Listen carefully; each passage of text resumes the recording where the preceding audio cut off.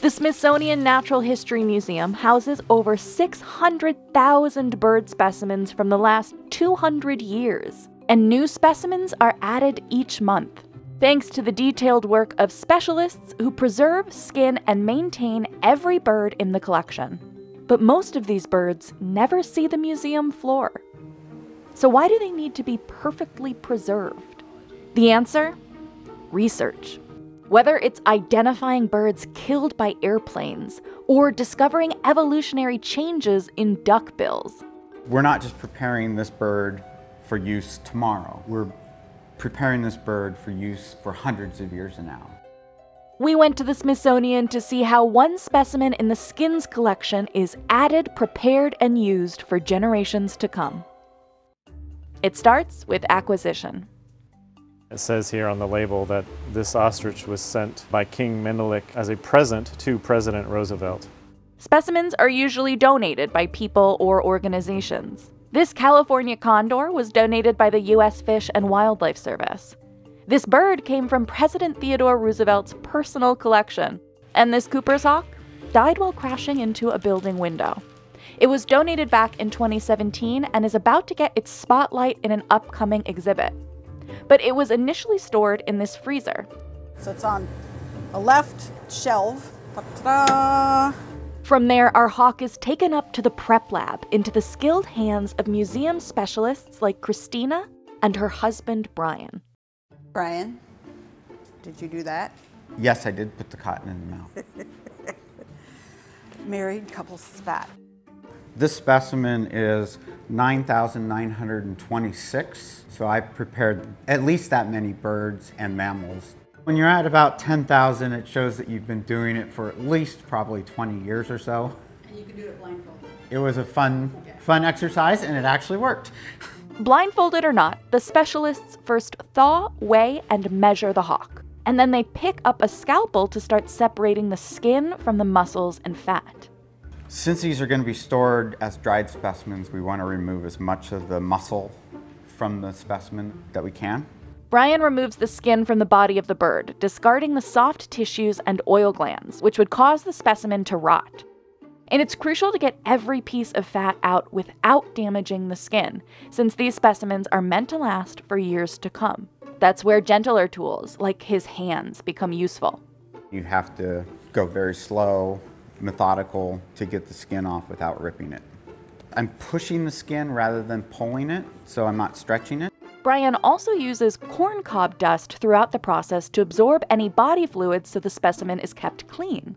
New people use a lot less dust, and more experienced people just cover it with dust. When removing the smaller parts of the bird, like the head or the eyes, The angle of the scalpel also makes a big difference. If you notice, I'm cutting away from the skin. There's been times where when you grab the eye, it squirts at you. sometimes birds that have more fat on their skin need to go through additional cleaning. All this white goopy stuff, this is all fat. That needs to come off, otherwise it will um, get rancid and then it will acidify and it will literally just ooze out of the skin. They use this fat wheel machine to remove all the fat until you can see the feather tracks. This is uh, takes a little bit of practice because if you press too hard, you will rip the skin. Once the fat is cleared, more corncob dust is used to absorb the moisture, and then the specimen is washed and dried. You want to see me blow the sawdust off?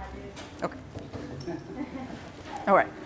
So with this, we do it in the fume hood because as you'd imagine, I'm going to blow a lot of dust everywhere. Christina uses a forced air dryer to blow off the sawdust and a hair dryer to fluff up the feathers, adding a nice sheen to them. To get the bird presentation ready, Brian will first tie the wings together to create a limited range of motion. He approximates how far a Cooper's hawk would have naturally spread their wings. So in the future, if somebody grabs the bird and opens up the wing to see the underside of the wing, by tying it, it'll make it the specimen stronger. Now the specimen is ready to be stuffed with cotton, recreating its original shape. We're trying to make a specimen that lasts forever and is strong. So I'm not a tailor or a seamstress, but I can sew up a bird pretty good.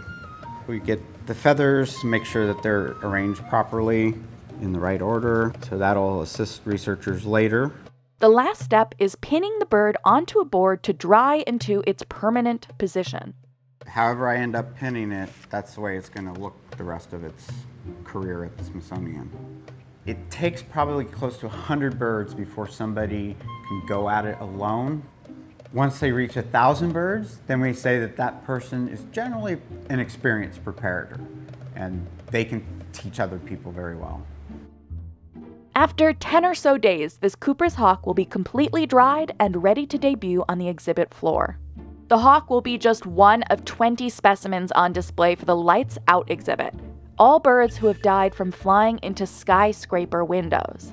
And they'll eventually join the larger skins collection with over 470,000 specimens, helping researchers from all around the world like Lauren and Joshua, researching how mating between domestic and wild ducks has changed the size and structure of their bills.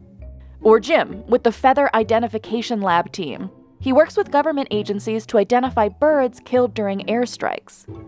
We get about 10,000 strikes a year, the busiest times are in the fall and the spring, and this place, the Division of Birds, is the perfect place for us to be because we have 80% of the world's bird species represented in this collection. So if there's a bird strike that happens in the world, we likely have a specimen to match it up to. This is a bird strike sample, the remnants of a bird aircraft collision that has been sent to us for us to identify. So I can see that we've got a couple wing feathers here, we've got a tail feather, we've got some body feathers. So we can actually take this feather out and match up these tail feathers quite well to the barn swallow. And we've got even these nice little peachy feathers that we're doing this. His findings are sent to airfield biologists and engine manufacturers to adjust aircrafts and reduce accidents. This bird was collected back in 1878, and so this bird was collected before airplanes were even imagined and put into this collection. And now we're using it to identify a bird aircraft collision. So we never know what these specimens are going to get used for, but that's really why it's important to keep them forever. A separate wings collection also helps for deeper analysis of feathers. Back in the old days, they didn't make too many spread wings or flat skins. And in, us in the Feather Lab really like that because it allows us access to feathers that occur under the wing and access in different areas of the bird where we might get a feather to, but it's very difficult to get into a traditional museum skin. Other researchers might be exploring the microbiomes found in the wings, like Gary. He discovered that vulture wings have a bacterial group called Deinococcus, one of the toughest organisms that can withstand high radiation. So when I expose this wing into full sun, the temperature on a day like today would be 90 degrees outside. In about three minutes, the temperature on the surface of this wing heats up to over 160. And that probably explains why Deinococcus is so dominant because it's one of the few bacterial groups that can actually reproduce. At the Smithsonian, these are just two of the collections within the bird division. There's also the organ collection, soaked in ethanol for preservation, the skeletons with each bone meticulously numbered, and mounted birds that retired from being on the exhibit floor. All of these are timestamps of the present bird population, creating a record for future generations of researchers. When the first bird preparators prepared birds, they had no idea what DNA was. Even though they didn't know that, by doing a consistent bird prep, it has enabled future researchers to conduct research on birds. And, you know, I wish I had a time capsule to go into the future to see what our birds are going to be used for 100 years from now.